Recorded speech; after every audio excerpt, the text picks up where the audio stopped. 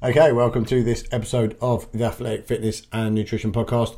My name is Paul Burgess, and I'm here today with a good friend of ours who supports the show um, on a regular basis because this is his third Third time. appearance, which is uh, which is always good. But for some reason, I don't remember doing it this late before. I think previously you were you were you were less of a valuable commodity potentially in podcast world, and now that you've got a bit of status, you're you're getting up at a more sensible hour in Australia. So I'm having to stay up late in the UK. But Marty Kendall, Yeah. welcome to the show, mate.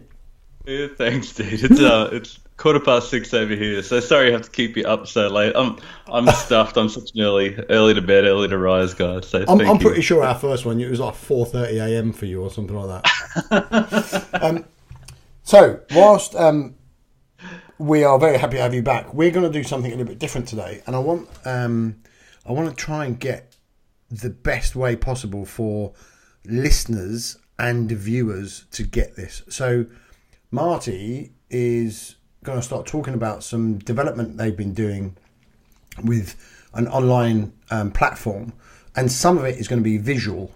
Now, if you're sitting in your car listening to this, you're going to be thinking, okay, well, am I going to do that? Um, so we're going to try and explain it as well as possible. It's probably going to be a bit difficult, but bear with us. So we're going to try and explain it as good as we can.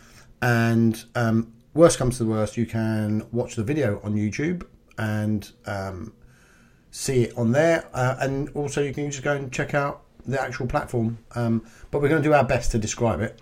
So anyway, Marty, You, for people who built it don't- up, mate. Sounds for, great. For people who don't know who you are, before you completely ruin our show and make it a visual show on radio, which just has never been done before for good reason. Um, We're innovators, Paul. yeah, yeah, we're cutting edge. Tell us about tell us about uh, your whole background and Oh wow. uh, where we're at now. Started a long time ago, about 42 years ago. Um, anyway, um, wife type one, got interested in nutrition. Last three or four years, been digging down, basically trying to systematize optimal nutrition. And um, for the last 18 months or so, trying to develop this platform to uh, to help people find exactly what they need out of nutrition to get them where they want to go. So um, yeah, designing different tools that just get people exactly where they want to go without fluffing around with a whole lot of different options and confusing things. And yeah, Yeah, absolutely. And and you've got a great website called Optimising Nutrition, and you're very prolific across Facebook for sure, Yep. um, and various other. too uh, much time online, like all of us. sorry. Too much time online, like all of us. Yeah, spending too much time uh, doing unnecessary stuff and not any of the good stuff, but which is not true at all. And your posts and blogs are by far and away the most detailed, probably that are out there. I'd have thought. Um, and so every time I see it come up, I, one part of me says, "Oh, for God's sake!" It means I've got to read all this again. And the other part of me says, "Come on, let's read it because I know it's going to be good." So, so um, uh, but yeah, it's some really good stuff that you brought out over the last few years. And I know that Thanks, man. when you first sort of appeared, I contacted you and went, "Oh, mate, come on the show," and um, and you said, "Oh, what, what, what, what am I even saying? That's interesting." And I went, "Mate, are you crazy? Like people have been looking for this for so long. Someone to to dissect it basically and say, look." This means this, Yeah. that means that, and, and that's why these things need to be done. And and there's a group of you engineer guys because you're an engineer by trade in your day job. Um, I think Ted Naiman was one. Um, uh, Kian Foley had a had a Yeah. background in it. Ivor, Dave Feldman. Yeah. Um, Brian Sa- Brian Sanders. Yeah, Was I it- think he's got an engineering background. Yeah, he come from a little bit of engineering in IT and film, and um, so he was on recently actually. oh, really? And That's um, great. Talking about his new film. Were you, aware- you do you know about that? Yeah, I had a chat to him the other day. So Yeah. he's yeah, he's a lot of fun. Great Yeah. guy. That's right. That's right. You were on that one as well. um, so we were having before before we started. I was saying that uh, I, every time I open my PC, Marty comes up on another podcast. Um, so all these engineers have kind of taken over the nutrition space and gone. Look, we can do this mu- much better than you nutritionists can. Move and aside. um, yeah, we can make sense of this. Um, and you've done it in a really good way, uh, honestly, mate. And I rave about this everywhere because, and you, you've been mentioned many times on the podcast, as you well know, because you apparently listen to them occasionally. And it, it's it is a serious thing that you guys have really brought some sim- simplicity and understanding mm. to the whole thing about nutrition, which is mm. quite possibly one of the most complicated and confusing areas that we ever look at. Right? You, Definitely. If you're not vegan, then you, you, you are clearly going to die early of some terrible disease. And then the next person goes, well, unless you eat just meat, then clearly yeah. you're going to die early of some terrible disease. And the other person says you have to eat only dairy, or you have to eat only fish, or you have to. And it's like, really? I mean, which one is is is reality? And that's kind of what Brian's done with his film to try and give people some sort of understanding of stuff. But the issue is we've got media that's very powerful and with a bit of money behind it that's really trying to mm. push its own agenda um, mm. especially like farmers and dairy and things like that who you know the, the, vegan um, movement and there's nothing wrong with being a vegan if that's what you choose i have no issue with personal preference people mm. don't come to me and say what's your personal preference for for a diet mm. People come to me and say i'm sick can you try and fix me but if mm. someone wants to be a vegan that's up to them but you know there was a big uh, film on on netflix that had a lot of momentum behind it and was massively widespread. Um, mm.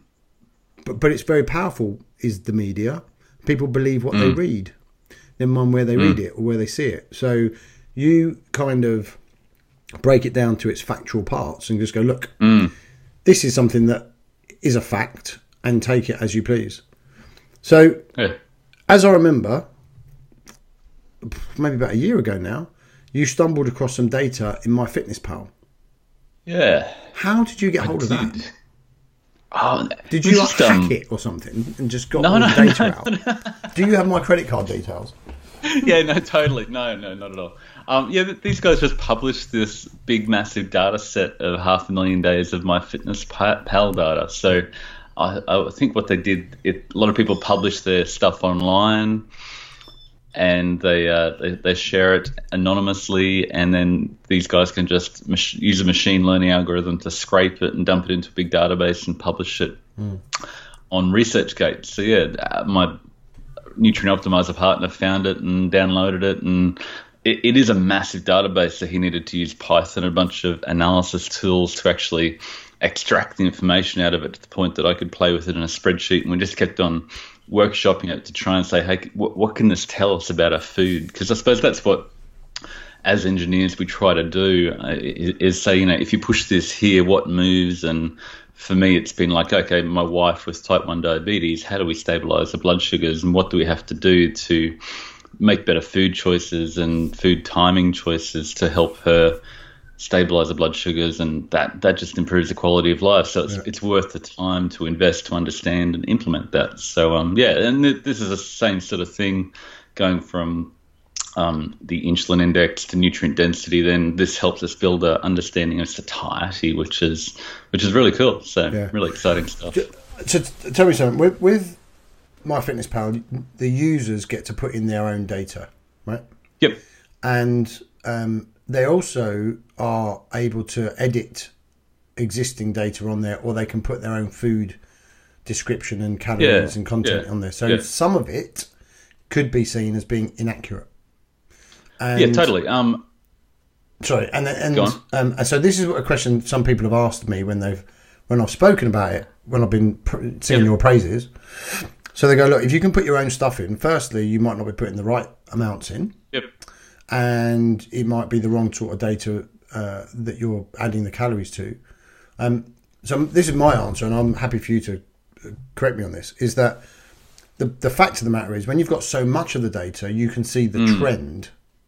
Yeah. And therefore, it's the trend that shows you the the information rather than the specific calories etc. Am I am I right in exactly, that? Exactly, exactly. We don't need precision exactly to get the trend, and when you've got half a million days of data, um, you can deduce trends about you know what is it about your food that helps you to eat more and less, more or less. And like from a from a micronutrient point of view, we strongly prefer Cronometer because it has it just says we're going to use the USDA database, which has got all the right data, and if they take user entered data, they screen it and analyze it themselves to make sure that anything they yeah. include in the database is really rigorously tested and has a good basis for it. But um, the MyFitnessPal stuff has got fairly accurate macronutrients. Um, and then they've got salt, potassium, a few other things, but we haven't used other than sodium, which is another post looking at, which is really interesting to see where uh, the relationship between satiety and sodium intake is really fascinating, which is something we've got coming out in a little while. But um, other than that, we just look at it from a macronutrient perspective to say which, how do you manipulate your macronutrients to eat less, more easily. And it, mm. But the thing is, it aligns really nicely with the University of Sydney data that um, they did back in 1990, which was a laboratory sort of data setting, and exactly with what um, Kian was talking about on your podcast recently. That I love his stuff and I love his philosophy. Just and, and what it showed really clearly is it's that combination of fat and carbs together that we just go nuts for. And mm. it's like we're preparing for winter. We get this gorge instinct, this hyperphagia that you know you've you've had the brownie, you've had the chips, and then you go searching for the popcorn and the coke yeah. and everything else, and your appetite just doesn't switch off. But when you get out of that middle zone, um, as if it was summer or winter, a more extreme environment. Um, or, or, a more natural environment that happens in nature rather than this manufactured food environment, we um, we just eat enough but not too much. Yeah, but one of the biggest issues people have is they overeat constantly, mm. and they feel as though it's well, I'm just always hungry. I'm hungry. I've yeah, eaten lots I, of food, but I still want to eat something. And I don't think it's their fault. No, no, no, not at all. That, that's the thing that you just you eat when you're hungry, and as matter, as much as you go on and track with my phone, you end up eating when, when you're hungry, and you get bored of eating when you're not hungry. So you know, but, you want to hack that. You want to understand it to make better food choices. But I think you only uh, you only stop eating when you've had enough. When the food is whole foods and it's mm, you know exactly the right type exactly. of food. You can get yeah. through an awful lot of junk food and and feel really like distended in your gut. In other words, you know, yeah. physically feel your your stomach is full, and yet you're yeah. still having that next mouthful of whatever it is. Um, yeah. And you see it a lot in, in restaurants where the people are drinking with their food, and that yeah. pushes down blood sugar, and you have all sorts of issues with that, and that's why that's why they give you white bread as a starter, right, as, on the table before you before you uh, order to to get your blood sugar up and down and make you hungrier and, and stuff. So it's a really, you know, like you say, it's it's not the people who are at fault necessarily. It's mm. the environment that we've been that we've so cleverly created around us, so that we never have to starve, which was yeah. the which which is a good thing. But mm. we've gone so far the other way that we're not only not starving, we're we're overeating to the point of type two diabetes and cardiovascular totally. risk. Yeah, the more more I've dug into this recently, the more I've understood that it's we trick ourselves, we tell ourselves things that we go, oh, I really like that, I like doing this or that, I, I like eating at night, or I don't like eating too much protein, or I, you know, fat bombs are fantastic. We trick ourselves into doing these things that optimize for maximum calorie intake and maximum fat storage, and it's by reverse engineering it and looking at the data, you can go, okay, well, our our subconscious is really really smart. It, it's optimized for su- survival, and we can reverse engineer that to say, okay, how do we consciously make better food choices so our gorge in- instincts are subdued and controlled, and we're not captive to that. So yeah. So once you've uh, flicked through half a million sets of data, what was the what was the, the, the, the end result that you found most interesting? Because I know there was a lot of stuff that came out of that. you know. Yeah, we've, we've mined it and just kept on making a bunch of posts mm. to unpack it, like um, looking at you know when you should eat, and that tends to be like breakfast and lunch helps you to eat less. Um, eating more protein for breakfast helps you to eat less. And there's all these things you probably heard about before, and the data just confirms it. Um, the most fascinating thing for me was when I looked at the starch plus fat and the appetite response to that. So what we did to understand appetite and or satiety is basically looked at the your goal intake for the day and whether you reached that, whether you overshot or undershot, and we could tell whether basically did you eat more than you want to or less than you want to. So that helps us to understand satiety and and if you were eating a diet that had minimal starch and fat combination, you found it easy to undereat or achieve your goal quite easily. Mm. But it was, you know, it's those chips and lasagna and Oreos and Ritz crackers and all those sort of things that if you're trying to um, track calories and keep within a certain calorie amount, you're going to just gorge and binge and you're not going to be able to meet it. And people say, yeah, I can, you know, as people say that they they met their calorie target or they lost weight on a on a Twinkie diet or the McDonald's diet or those sorts of things. But that's going to take incredible willpower, mm. and you're going to as soon as they finish that little stint, that stunt for a month or whatever, they're just going to go, just give me unlimited food. Yeah. Um, but you need to find a way that you can manage a diet over a long longer period that you're not always fighting willpower. This is this is one of the issues I had with if it fits your macros and the principle, I believe, works. Right? You can do if it fits your macros. If the food you're eating is whole foods. Yep. So in my mind, that would then mean that you've got a a dietary plan that allows you to eat different foods every day, so long as mm. it fits within the macros that you're trying to follow. Right. So if it fits your mm. macros, you can do it. So you don't need to eat the same foods day in day out because they're measured and you know what it is. You've got more mm. Flexibility. That's fine. The problem is when people sit there and go, you can eat donuts and ice cream and stuff so long as it fits your macros. Because mm. if you eat, I don't know, half a pizza, the rest of the day you're going to be eating white fish, and that's it. Yeah. If you're going to try and make that fit in any sort of normal sort of numbers, and and yeah. So that's my first problem. And the second problem is if someone is is following that type of approach where they they use this flexible eating that allows them to eat junk or highly processed foods or whatever else it is, if they've eaten everything in the day that's accounted for their calories and macros, and they have mm. got left 250 calories of mm. um, high carbohydrate, high fat. They've worked it so they can have that chocolate bar, whatever it is, right? Yep. They eat the chocolate bar going, right, it fits my macros, that's cool. But that often isn't the last thing they eat because yeah, that, totally, that totally. sends them off now into, oh, now I'm hungry and that's my personal experience is once you go yeah there's the free brownie or the cookie on at the at work once you do that once you start taking that in it's it's like um, uh, Kian talked about it's the that, that gorge instinct that kicks in in your body to say well it must be winter it must be autumn winter's coming where's my food I'm going to need to prepare for winter and you yeah. just your appetite kicks in and it's nine o'clock at night and you're still chowing down the food and that one last thing you were going to have to round out your day was three hours ago. Yeah, it was the beginning of quite a big gorge intake of calories. And again, yeah. that stuff that you're that you're deciding to eat now isn't chicken salad, right?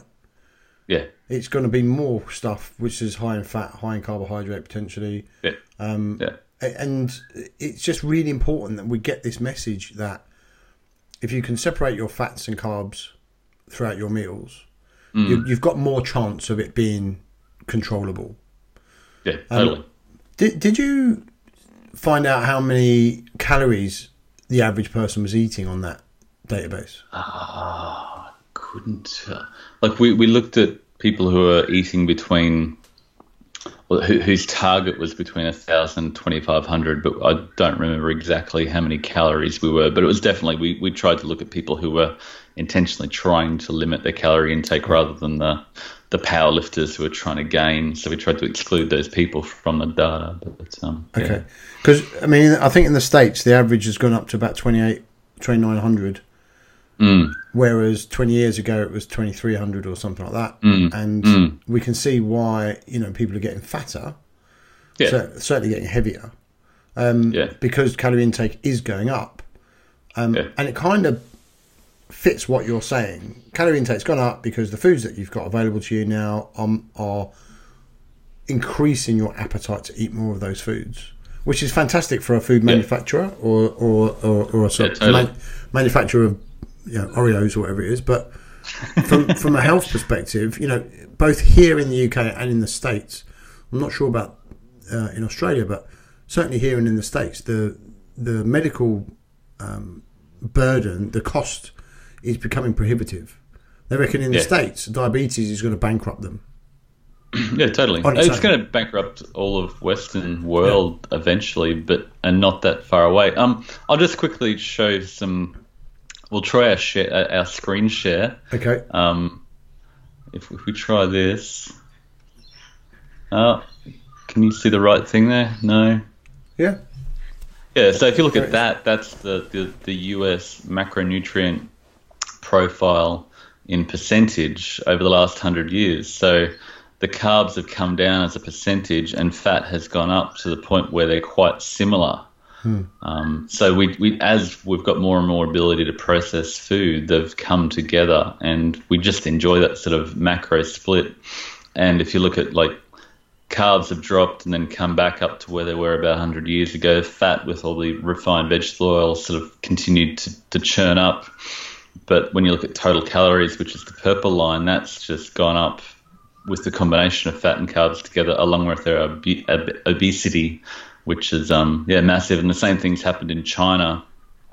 Their carbs have gone down, their fat's gone, gone up, and their obesity's gone up together. So it's it's um, pretty powerful information to look at a number of different aspects that all sort of align together. It's just a proven story. It just it is what it is, and Yeah. it's ruined some you know hundreds of thousands, if not millions, of people's lives on the back of it.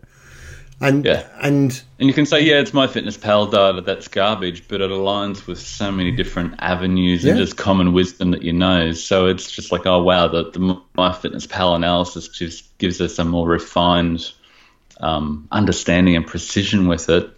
And you can say, yeah, it's hypothesis generation, you should test it in a laboratory, but it's like, this is 1600 person years of data. T- So to get 1600 people in a laboratory in a metabolic ward for a year, it's going to cost a bit of money. So I don't know when that, when that re- results is going to come out or who's going to pay for that. but you know what? Probably not the food companies. Yeah, but people are too fixated on show me the research, show me the this, show me that. I heard somebody comment on Joe Rogan's show the other day with Chris Kresser and Mm, Joel. Joel, Joel Kahn. Kahn. And they said, well, I've, I still haven't heard an argument to eat meat. Um, even though Chris has said all this stuff, Chris is not a doctor, so it's probably not worth listening to him. and I Joel's a doctor. Huh? Joel's a doctor, yeah. And I Joel's a doctor. So. almost went back and went, you know what, if you're relying on doctors to give you the best advice, you know, we got we got to have a proper sit down and a chat. But the and nothing wrong with doctors, by the way. Before you I then get, need to look at where the doctors are getting their nutritional education That's from it, and yeah, who's driving the agenda behind that. That's Yeah, I a mean- fascinating rabbit hole as well. when it comes to that, I've got nothing against doctors. Don't get me wrong, but the you know you I don't think it's necessary to give me a peer reviewed, randomized controlled trial about this stuff when you can look down the street and see, you know, eight year olds with diabetes. Mm. It, it's messed up. So it, it, it- don't be waiting for the study. Let's just do something about it now. And and that brings me on to something that you personally, and you didn't do any uh, research on this. You decided just to observe, right? So you went to you went on holiday recently to a very nice island, Oh yeah. right? And um, saw well, you can tell the story far better than I can because you were there, and I'll, I'll only be telling you your own story. But yeah, so Yeah. go. Yeah, yeah. Um, I went to Vanuatu, fantastic country. We went there five years ago for a holiday, and it's a really nice, relaxing place. And it's this all these volcanoes have formed islands, so the the food that's growing there is just incredibly nutrient dense, and the people who are living off it look fantastic. But um, we tried to go to the markets and went there a couple of times, and basically these people are bringing their produce from the land, and they're, they're, they're finding it harder and harder to get land because the Chinese and the, the Westerners are buying it up.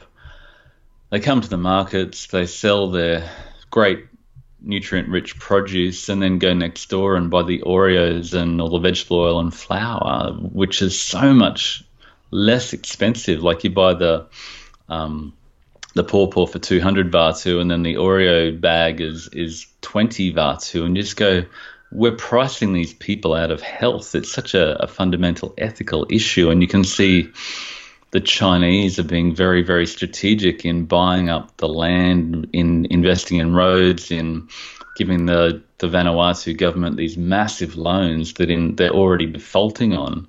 So they're building all these schools and roads and government buildings, and you can see in 10, 20 years' time that it's the Chinese probably who are going to have control over Vanuatu because they can see that that's where the food is to feed the whole nation of China, and their economy is booming. And um, yeah, it's just a, a magnified, accelerated version of what's happening in the rest of the world, where these people who look fantastic, the same people, same race, who haven't like Weston A. Price talks. You hear people talk about Weston A. Price. It's like the same population, given a different environment, different food, look completely different. And I think these people are even more vulnerable to it because if you've been able to get to an island in a canoe to settle that island from another land, you probably uh, might have been a little bit bigger and able to store fat when you left the home country. So these people are probably more predisposed to just getting really, really big, really, really fast as soon as they get these hyper palatable foods that they can't switch off from. So it's just,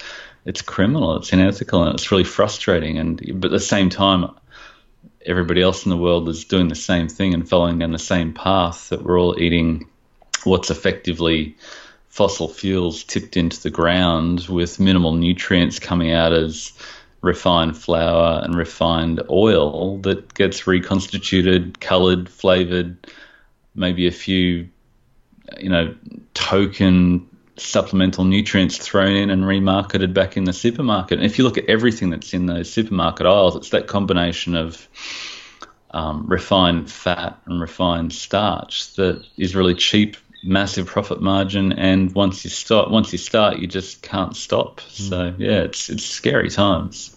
And, and the fact that they can't afford really to farm their own land with enough food to f- feed themselves, and they'd rather yeah. go and buy the cheaper stuff so they can feed the family and everything else It's yeah. really quite scary, right? Because the only people buying their food now are the tourists that go over there and going, "Oh, this is amazing. I wish we, we, I wish we had this at home."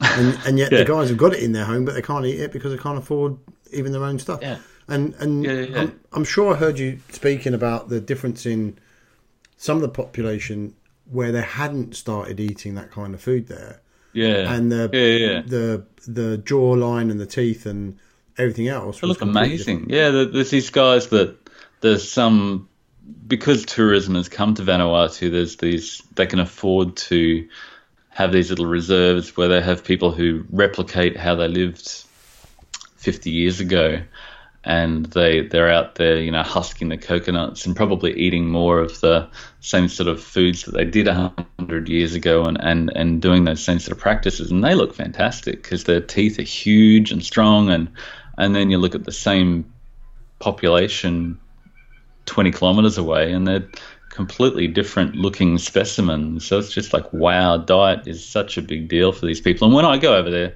I feel fantastic you know canoeing around in the water and enjoying the food, and you you feel so much more vital and alive and thriving. So that's why we love it there. But um, yeah, it's it's a really interesting learning experience as well. Um, okay, so with the um, the online platform that you've Yeah. developed, the, I think the initial, you know, the initial, initial drive of it, if you like, um, was to get this message across in a simple and Yeah. understandable manner. And um, Yeah, because I I do four or five thousand word blog posts that go, here's my proof text for my concept on the food insulin index or the uh, the, the, the nutrient density or satiety, and but not everybody wants to read that. People just need to know what to do. So we've tried really hard to develop a tool that will just say, well, here you go, here's what you should do today, and help people develop habits to actually do that every day. And, and I think somewhere on on Messenger, I've got the initial ramblings of that from when before you even started. Probably. Potentially, that we were chatting and you were saying, "Look, I'm thinking about doing this and that, and what do you think about all this stuff that it can include?" And I think, I think I was quite vocal in saying, "Mate, it's just way too much confusion going on. It needs to be." But you know, fast forward a year and a half, and you've really simplified a lot of it and made it um, almost a game, right? That you play every day.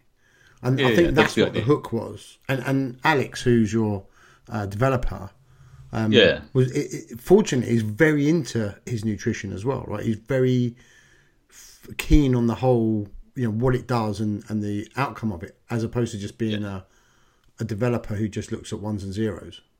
Yeah, Alex has got a degree in, in neuroscience as well, um, and was a semi-professional tennis player. So he's got an understanding of not just programming, but you know what it takes to make something addictive in a good way and develop positive habits. So that's what we've tried to jam into the tool. Is not just you know eat this and this is how much, which is part of it, but here's the habits. We've got 280 different habits that you tick off each day.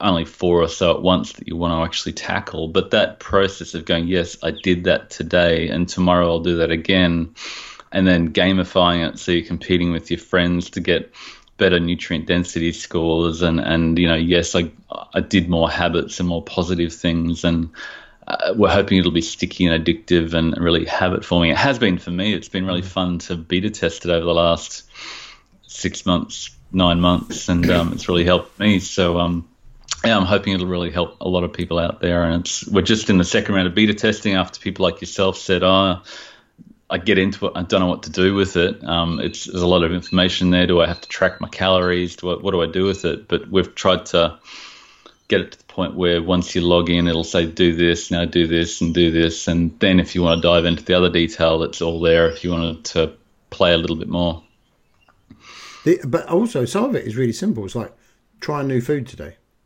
yeah, yeah. you'll get- and that's what we start off with. We say, you know. We've we've got a list of optimal foods for your goals, and then we can tweak them and dial them up for your current nutrient deficiencies based on your Cronometer data. But first thing is like try a new food, try a new meal. Here's a, here's a list, and then you get into the habit of doing that. It's that building the habit, and then it's you know one of mine is uh, you know no liquid calories today, or steak and eggs, which we were talking about earlier for you. Just eat a meal, steak and eggs, and you know how does that feel? Does it work for you? Reflect on it, get more sleep, and and and we've we've dialed it for all different goals, whether you're trying to build muscle mass or manage diabetes or get therapeutic ketones. And I think initially we'll probably focus on that. I want to lose weight and I want to manage my diabetes aspect, but it's got you know we've there's so many goals out there and they're all different and you need a different mm-hmm. approach for different goals for different situations. And some people you know maybe they want to I don't want to be Louis Villasenor and look completely ripped and mm-hmm. shredded and up their protein and work out every day and, and dial down their calories. And they just want a nutritional ketosis approach that's, that's comfortable and we can we can dial it in and you can just you know sit there but if you do want to push it to that you know I want to get ripped and I want to maximize my weight loss and I want to do a protein sparing modified fast without compromising my nutrient density which is where that all falls apart um, we can dial that in for you too. So yeah, it's it's a really exciting tool, and uh, hoping it'll. It's like nothing else out there, so hopefully it'll blow people away. Uh, uh, and the the overall image you get from it is one that almost draws you in and says, "Look, it, just all the information you need is here. Yeah. Just take your time a little bit and do a little yeah. bit each day, and you'll get it. It's not like here's here's the the clickbait, and then here's the answer. Right? It doesn't. it- Yeah, yeah, yeah. And and unfortunately, you know that's why I work with clients six months or twelve months to to change things because you need a lot of exposure to someone to make those lasting changes. Right? You can't Yeah. just turn around and say because if you could, you know, Robb Wolf's book, the Paleo Solution, would have changed everyone's life, and that'd be it. Yeah. Yeah. yeah. And then uh, he wouldn't have needed to and bring out another one. you know, he'd have been fine. So yeah, you and I know that just having a lot of knowledge, and there's a lot of experts out there have a lot of knowledge that struggle to put it into practice, and it's that habit forming. You know, I'm going to change a little bit, and it becomes part of me, part of my identity, and I change a little bit more, and I add a new habit, and I keep on improving, and and I bring my family with me, and I bring my community with me, and I I backslide a little bit, and I get mm-hmm. back on and keep going. It's it's a continual process. And then you know what do you do when you're at maintenance and how do you optimize your nutrition for long-term maintenance? And then if you start to backslide then it'll say well let's switch gears again and go back and focus on weight loss but um, yeah it's it's pretty cool Do you know what? It's interesting you say about when you fall off, you know, you backslide and, and then have to start again. I find that those episodes are kind of where people really learn the most because they followed something they believed was the correct thing to do. And I, and I say they, I include myself in that, right? So, you know, I still mess around with my food all the time. Um, let's try this, let's try that. Is that going to make me feel better? Am I going to feel more satiated? Am I going to sleep better if I do that? Am I, you know, and you're always tinkering with it, right? I don't think that'll ever change. But you know what what I might have believed five, six, ten years ago, I certainly am not going to have the same opinion of now necessarily across the board. But if I fall off a, a plan, if you like, and, and find as though what I was doing was more difficult than I thought it was going to be, or I just found I couldn't stick to it, if I reflect on it, I then start to realise things that maybe I wasn't aware of beforehand. Mm. And then I mm. maybe look up some research on it, or, or I speak to you, or I speak Yeah. to whoever, and we go, "Oh yeah, we'll try this," blah blah blah, and they go, "Oh yeah, well that makes sense." And all of a sudden, you've had a, you know, a bit more knowledge, but also a bit of a more understanding of perspective of why you're falling off this Yeah. plan and all the rest of it, right? So, in the in the platform, and I don't know if this does it uh, yet, but I'm sure there'll be something there. Is Yep. there something specific about that? Is- like you mentioned there, that if you do fall off, you go right. Okay, let's refocus on weight loss again and start again, kind of stuff. But does it look at any of the psychology?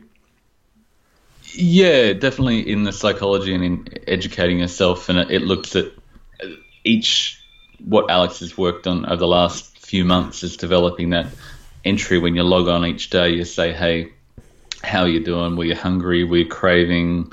How's your energy levels?" Uh, and then that gives you guidance based on your responses to that. If your weight is creeping up, like say you said, "I just want to maintain," but your weight starts creeping up, then it triggers you back into it. But um, we're also developing a, a, a diet break mode, which I think is really helpful as well. That um, Lyle McDonald talks about it as well, and I think a lot of the people that are successful in the long term, um, dieting is difficult, and it, it takes intest- like um, intestinal fortitude or just a, a mental effort that you get tired and your body goes, okay, I need some food, and sometimes it's okay to relax for a week or two and then go, okay, I'm ready to go again. Um, I think that can be useful just to sometimes after, especially if you're working out or dieting really hard, your body just needs to to chill back and practice maintenance for a little while, and then you jump back in again. So that's that's part of the process as well. Do you do you think? Um, I mean, a lot of people look at daily calorie intake, and you know, is it in a deficit? Is it in a surplus? Whatever it is, and they kind of work around that. Um, I also find that when we try and view it over a week, mm. we can get a bit more flexibility into things. So mm. there are certain mm. days where we know people are going to be more busy than others, and therefore they they kind of aren't so focused on food. Well, I'm just really busy. I've got this to do, that to do, blah blah blah. I might intermittent fast on those days, say because yeah, I know totally. the morning's going to be this or whatever it is, and then you get a kind of a bigger deficit through there, and then maybe on a Yeah. Friday night or a Saturday night or a weekend in general, they they Yeah. always overeat because well, I want to go out with the family for breakfast, or then I want to do this or whatever. I don't know. But if you Yeah, totally. if you view it over the week rather than the days, we kind of Hmm. get a bit more compliance to it. I don't. Do you ever look at that? Yeah, uh, we we were trying to get data to to look at that in a little bit more detail to see when people tend to lose the weight. Um, but yeah, I know personally on the weekend you eat with the family and so celebrate food, and you, you've got fresh food because you've been to the markets and you cook something yummy, and you all enjoy it as a family. And but then during the week, you can be much. I tend to be much more utilitarian with my food, and you prioritize your morning protein. And, and ideally, you know, I come home at seven o'clock on the bus, and the family's probably already had dinner because they eat early. And ideally, I don't want to be chowing into the fridge by myself, looking at those yummy things. And if if I can eat enough protein at work, then I tend to not be hungry at night. And yeah, so there's definitely a a weekly cycle to that. It's interesting. So, can we um, ruin our show once again and look at this uh, uh, Should we give it a crack? yeah, why not? Yeah. Why not? You're, you're very brave, Paul. Thank you. Cutting edge, mate. Um, cutting Forefront, edge. forefront, of, Bleeding uh, edge. Soon, all radio shows will that? do this. So you can see that? I can, right? Yeah. So this is Yeah. So, so you set up your little avatar and you choose. For me at the moment, I'm, I'm, I'm fat loss boss, and there's a you know keto module and a blood sugar module and a therapeutic ketone module and a maintenance, and each person's got sort of an avatar. So you identify with that, and like so many people get so excited about you know uh, their their their their, their avatar. Um, what are they? They're, all those fads that used to go around where everybody would Pokemon Go and uh, you, you're trying to make this thing live. And if you can just go, yeah, here's an avatar that you're trying to look after, I think people tend to invest in that little pet avatar that's virtual. But, you know, in investing in that, they end up having benefits in their own body. Um, at, at the moment, we've got this milestone sort of arrangement going where it says, you know, you're going to get to this milestone and then this milestone and then this milestone and continue down the track. And it takes you through that milestone process and says, this is where you're going to get in the long term. Um, and it takes it into bite sized chunks. So you get that psychological benefit of going, yeah, I got to the first milestone, I'm doing okay. Um, so we this get is, in here, this you is can like dial a, up. a, a track which shows um, the the progress that you're making. Yeah, and, yeah. And each in, time in you do of, something, it gives you that sort of motivation to keep going. Yeah, and it's not just oh yeah, I've got three months to go. It's like okay, I reached my first milestone, well done, and it gives you a congratulations. Um, and each day you can jump in and you log your weight, but then there's a whole lot of different metrics from weight, body fat, waist, breath ketones, blood ketones, glucose, how you performed athletically, your recovery, your heart rate variability, trigs, HDL, and all those other things. And we actually use those things to dial in your um, different parameters. So if you look at uh, the the coolest one, I think, is the smart macros. So most people just say, "Here's your macros and here's what you need to eat," but we actually use the "Are you losing more?" Muscle mass than body fat. And if you are then you need to up your protein. If your glucose if your blood glucose is still too high then you say you know let's dial in your carbohydrate because you're obviously eating too many carbs. So that's not the front line. And you know we took your advice that that can be confusing. But if you want to dial into it and look under the hood if you want to actually fine tune that we give you that guidance based on how you're actually performing. So there's so many debates out there of you know, should you eat more carbs or more fat? And but it's very individual. If if you're not tolerating carbohydrates, if you're beyond your personal fat threshold, then you probably do need to dial back your carbohydrates and maybe even your overall calorie intake. But um, yeah, so we, we tweak your macros based on how you're actually performing in your goal, whether it be fat loss without losing muscle or glucose control, diabetes control, etc., etc. So, there's a lot of real time feedback there that you can that can give you some guidance. You know, pretty much on a daily basis as to what's a good Uh, way to go. Yeah, and, and we reset your target macros every week based on your performance that week towards your goal, and we keep on fine tuning that. Um, you can see down here, there's different habits at the moment. It's you know, steak and eggs, only whole foods, no liquid calories. Try and eat water when hungry, uh, drink water when hungry, um, and then we've got, if you look at uh, optimal, got a bunch of optimal recipes that you can eat that fit your macro kind of split that you're after. Yeah, that, that align with those goals. Uh, there's my to-do list. um, and then we can join other challenges. I was just going to show you through that. So there's a whole lot of different challenges. So, so you know the um, the sorry, uh, Marty, you know the um, the parameters you need to put in, like the height, the weight, the body yep. fat percentage, and then it got into quite, you know, got into some weeds there with like blood ketones, yep. blood glucose, this and that. A lot of people are not going to be doing that on a daily basis. No. What no. what what's the minimum kind of input that you would want or need so that the user can get some valid data to say, okay, this is what we think you should do.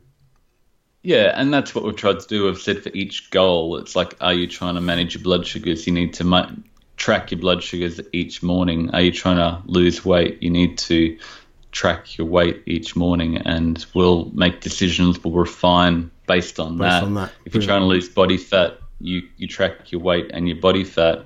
But if you want to track all those other things, they're really useful too. And but we can actually refine your diet based on your, your ketones and ideally your breath ketones and your heart rate variability and, and those sorts of things. But you don't have to dig down into that, but we can use that information to help refine your choices. Yeah, that's brilliant, mate. It's honestly, it's it, you can be used as much as someone wants to, but the the parameters yeah. that you take in, people just want to know what have I got to do. But if they put in that data, they'll know exactly what the next best step is which is interesting. Yeah, exactly. So so we can we can say, well, these are the best things to eat, but if we know what you're currently eating, we can fine tune that a little bit more. But you don't have to put it, that in, but hopefully people will get see the value of doing a little bit of tracking. Yeah. Um, but but it gets oppressive and it gets too much to track all the time. So you don't want to be you don't want it to be your total job. You just want it to be a reminder each day. You, you you wake up or you jump on the bus and you enter your data and you spend five minutes just reflecting.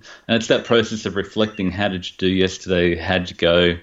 What did you do well? Like you were saying, where did I fall off the wagon and where do I need to improve today? It's that um, habit building process of continually improving and reflecting that'll, I think, get people there. Yeah. I noticed on a slightly different topic that Cronometer um, now accepts Oura Ring data for the HRV. Oh, really? Do you see that? No. Um, so this week they're they're they're taking in your uh, heart rate, your uh, calorie expenditure, I think, of some description, yep. and your HRV or something. Um, so that might be an interesting one to uh, mm. add in mm. at some point. Um, and then you yeah, we've been talking to Cronometer a little bit. Sorry, you were going to go through the, some of the tasks that you were. Um, your particular one was saying that you would want to attempt over the next few weeks or months? Okay, I'll jump back in. Yeah, so if you look at here's a task, um, and it says eat only unprocessed foods. Um, each day after performing the habit, you put a check mark, and it gives you a little tip of what to do. And you say, "Yeah, I've done that each day," and you just build that habit. Um, and if you look at the different habits. We've got habits under the main challenges area diet, hydration, psychology, and lifestyle and accountability. So, building a community around it. So, there's different aspects, and you can take on one from each category at a time. So, we don't overwhelm you. We just start you off and continue you down the path mm. progressively. Um, and that's and the thing. Not everybody wants to have this as their complete job. No, but I mean, there are some some tasks are as easy as tell a friend, right? Yeah, I'm, I'm trying to lose some weight this week, and they go, okay, right, well, let us know how you get on, and that's it. Yeah. I mean, it's nothing big, but but saying it and putting it out there just yeah. gives you that little bit more accountability to say, well, you know, maybe I'm not going to eat that certain thing yep. that I would normally just have and not even recognise I've had it, even though it's 400 calories every day. Um, so yeah, it's a really simple thing, right? There's, there's Snap My Food, and, and you get points for taking a photo of your food, which gives you a degree of accountability. If you're actually looking at the food, you're taking a photo of your food, maybe you want to share that food with people on the Facebook group, then that helps you be more accountable to what you're doing. And you think about it, you're more conscious about, you know, it's not just mindless eating of everything that's in the fridge that's available at 10 o'clock at night. Do you think um, that that people want to come to a point where they don't need to think about this stuff anymore? Uh, yes, definitely. And, and, and the ideal is like your appetite is, um, your appetite should work the best in the natural environment. Your appetite is developed, and, and we really see this as uh, training wheels to get you back to not needing this, but it might take you a month or six months or maybe a year to get get you back to the point where you you uh, we're so habituated by our advertising environment, our community environment, because everybody else is eating Oreos and Doritos in front of Netflix for five hours each night. You know that that's our current habit, and we theoretically know that there's better habits out there, but uh, we we don't do them, and it, it takes a system to get you to do that. So you see here with the psychology, you've got your you know write down your why, um, monitor your habits, elite, eliminate triggers, plan ahead, visualize eating well, um, reflect on the food you ate today. Um, yeah, so Yeah, and, there's a bunch of and there's 280 of these for different goals, and, and it'll but it won't overwhelm you. It'll just do one at a time, and you can keep on. You go, I've I've lost the weight. I'm going to change to bodybuilding, or I've lost the weight. I'm going to change to my diabetes is under control, and now I'm going to become a performance athlete. And we we've got it set up for how you're going to be a, a performance athlete. I mean, you know, looking through the tasks, it's really simple. One of them is Yeah. eat eggs for lunch. Yeah. You know, And that's a great way. You're like you, you take boiled eggs to work, and they're hard to overeat, and you're full and satisf- satisfied, and got plenty of nutrition, plenty of protein. yeah. Can I tell you, my um, my lovely other half um, likes her bread and carbs, and and she does very well on them. Thank you very much. Um, I sadly am the opposite, and and and I will when the you know if I'm hungry or I've eaten but I still want to eat something else.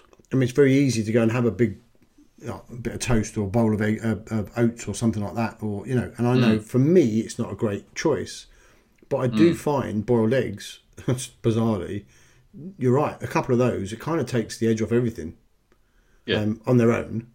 Um, I'm, I'm not saying you, you cover them in mayonnaise or or whatever people choose, but if you have them just on their own, it really is something that just takes the edge off things.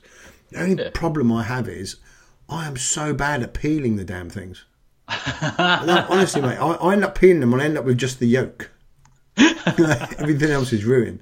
I can do them when they're warm, when they're warm out of Yeah. the thing, but when Yeah, they're yeah. cold out the fridge, That's it's the a different. Ma- and every time I do it, I think to myself, I've got to go on YouTube and find out how to peel a damn boiled egg properly because it's driving me insane.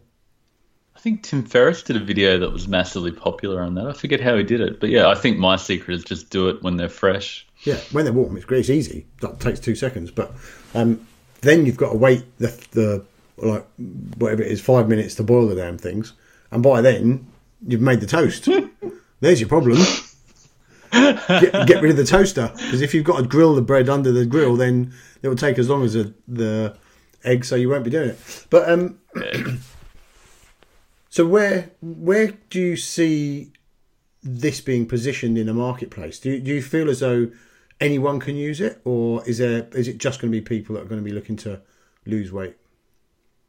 Uh, no, no. There's um, like we said, there's a. Look at the settings, uh, you know, I, I won't take you back in there, but yeah, we've got from people looking to manage therapeutic ketosis, nutritional ketosis, diabetes management, weight loss, weight loss and blood sugar control, um, just aggressive, you know, all out protein sparing modified fast fat loss to optimize your diet for that. We're looking at, uh, we've got a module for people who are just maintaining um, who want to optimize the rest of their lifestyle and maximize the nutrient density.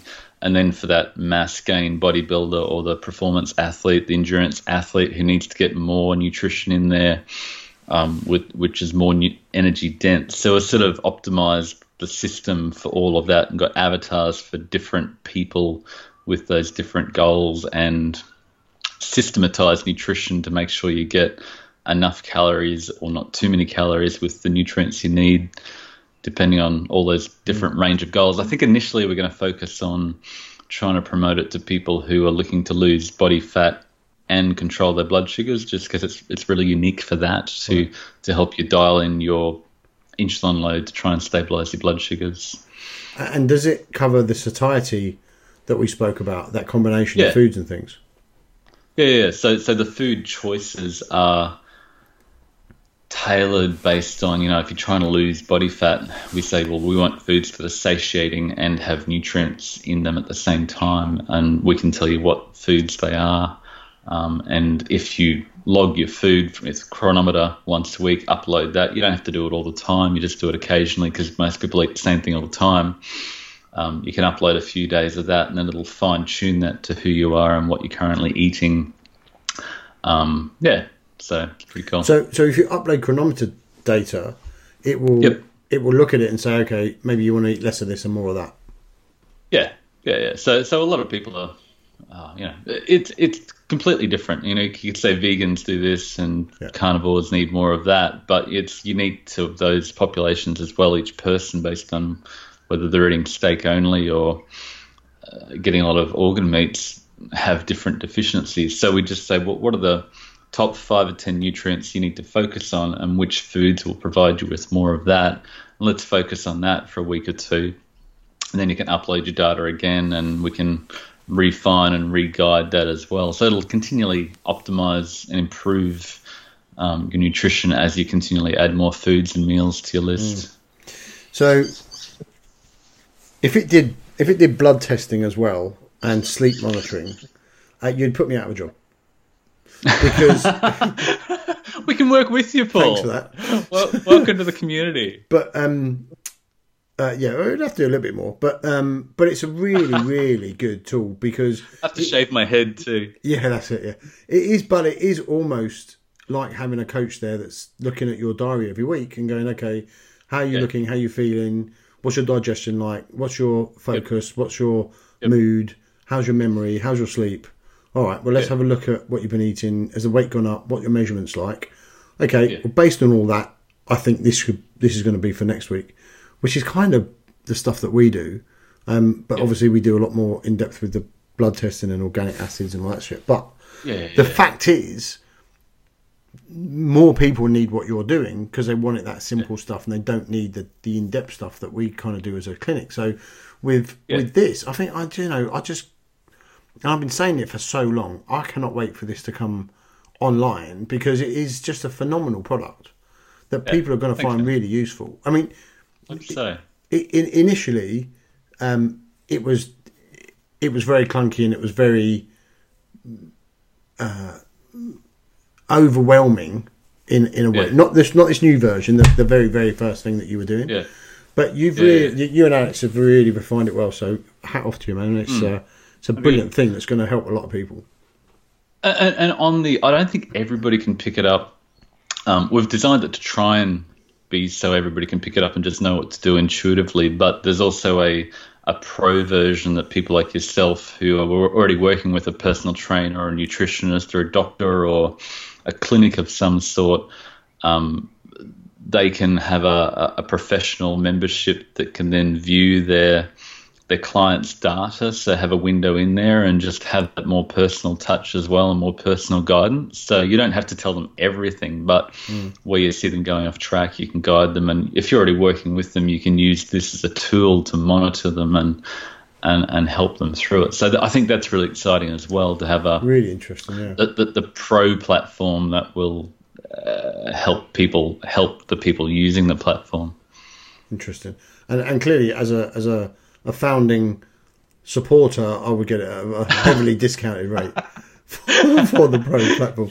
Um, yeah, uh, so people can start using this now or not? Is it ready or not? Uh, we, we've we've got a free report. Um, I keep hassling Alex, and he keeps says just you know I need to keep getting it right, and that's a good thing because we don't want to put it out to the world before it's you know just really nice. Um, we've done one round of beta testing, and we're just about to jump into the second one, which will probably run for a few weeks. Um, I think the hope is basically to be able to release it to the world before Christmas, and then come January, a lot more people can get on board. But to we've got a free report which is really quite comprehensive already. So if you jump on the free report, you can get you know your macros and your foods and your your meals, and just sort of get a, a taste for how it works, and then we'll send you a, a follow up email once it's ready to jump on board fully and, and have a play. And you also have an app um, that you can basically take round the supermarket. Um, and I'm looking for it on my phone, and I changed my phone this week, and I load, I lost a load of data, all my fault. Didn't back up stuff as I should have, and that is one of the apps that has gone missing. I'll have to re-download it. Can't remember what it was called, but basically you could look up the most satiating foods. Yeah. Is that right? Um, Yeah, we did a, the, the Never Hungry Diet app, which then takes you through. Um, you can dial up, hey, this is the food I'm about to buy. What's the nutrient score? What's the satiety score? What's the food insulin index score? Will that work for my current goals? which again is free. You can just download that. Yeah, yeah, that's a free tool. So we've we've tried to design a whole lot of free tools that people can check out and play with. So Well, mate, um, as soon as it's ready, I think a lot of people are going to jump on that. But in the meanwhile, we will put the link to where they can get the uh, the free the free uh, stuff in um, Yeah. uh, in the show notes, and then they can just. I think in there they just put their email address in anyway, right? So when it's Yeah. ready, you just ping them an email and just say, "Look, it's ready to go. Have a check it out." But do you think it's going to be much longer? Good idea. Uh, no, it'll uh, like I said before Christmas, early New Year, we'll have it ready to roll out, and people can jump on board. And looking forward to seeing people compete and vie for the top of the leaderboard Yeah, and God. work together on it. Leaderboards, they are such a motivator. You'll have more for- competition, mate. Leaderboards are such a motivator for people, um, and they really do make they do they, they, they, they really want to do stuff like that. I mean, I think I told you last time we were speaking on here. I can't remember if it was then, but basically, I had a um, client who's a CrossFit athlete. He's a regional CrossFit athlete, as, as it happens, and um, I was speaking to her about the um, the old nutrient optimizer leaderboard, which I was at the top of for a very long time. I'll let me know, but uh, and I now I'm not at the top of. But um, uh, and so so she was playing about with it, and I said, "Yeah, if you look, look, here's a leaderboard," and she just turned around and said, "There's a leaderboard." And as soon as she realised there was a competition involved, she, it was a different thing to her. Then she was really trying to um, pull things I up and the do top? it. Yeah, we don't need to show that now. So for people listening, Yeah. he's showing the, the leaderboard, of which he's the top, which I get. You- that's down at number eight now, mate. I'm Sorry eighth, about that. And um, Yeah. it's very upsetting.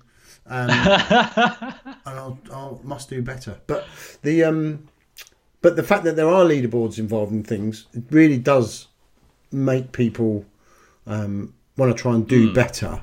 And you don't have to be the top of it, you know. But if you're just better than the next person, or you can see a couple of things you can change that pushes you up five or six places, it just gets people to do things. Mm. So um, it's just another way Yeah, of totally. That's the idea. yeah. Anyway, mate, listen. Um, I'm just looking at the clock now. Over an hour already, um, and we we can always chat for hours. But really, really pleased to see it coming to life. And um, being as I've Yeah. kind of been involved from for a long time with the Thank you for your support. giving giving some feedback on it, I'm, it's, it's so exciting to see it actually Mm. materialise. A lot of people talk about this stuff.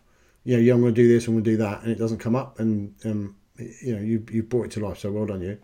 Um, It's been a lot of lot of work, and Alex has put in a massive effort. And yeah, I, every morning I'm motivated to get up insanely early and start writing a blog post or a food list or refining something. Or and this has all been going on behind the scenes. So oh, you know, I'm so buzzed to see this nearly ready to get out to the world. and we are all going to appreciate it. I'm definitely sure because uh, it's going to change a lot of people's lives. Um, when people want to get hold of it or they want to get the free stuff, just nutrientoptimiser.com. Is that where they go? Yeah, that's it. That's it. So yeah, there's a free report. Check it out. You get a feel for it. You can see the full report, which is a more detailed thing that you've done, and uh, yeah, then the platform will just be that little hand-holding, guiding thing with challenges and leaderboards and a million tools, but the simplicity to just do every day. And, and do people have to fill out Cronometer for it? No, no, no, no. That, that's just an optional extra. So we've tried to make as many things as we can just optionals. That if you want to add in that extra data, you can. But if you want to keep it as simple as you can, then it, it can be simple as yeah. Brilliant. Okay, mate. Well, listen. Um, thank you for getting up early, ish for me. Um, Thanks for staying up late. That's all right, mate. But it's Saturday there now, right? It is. it Yeah, is. so you got no work to do, which is great. No. Well, well, you haven't got to go to work. Um, so I'm going to say, mate, enjoy the rest of your day. Thanks again for coming on. Thank you. Um, Thanks, al- Paul. Always a pleasure. Love your stuff, like so many people do. If you have not checked out Marty before, and this is the first time you've ever heard of him, then please, please, please go and look at his website, join his Facebook group. Um, he tends to let anyone in, which is uh, which is always a benefit because that allows me to go in there. Um, and uh, just just follow some of his stuff because you know there are people in the world that even experienced people like myself look up to and we learn from, and Marty is definitely one of them. So Well, thank you. um, it's great to have people like that and the resources that you provide us. So um, if you haven't checked him out, check him out.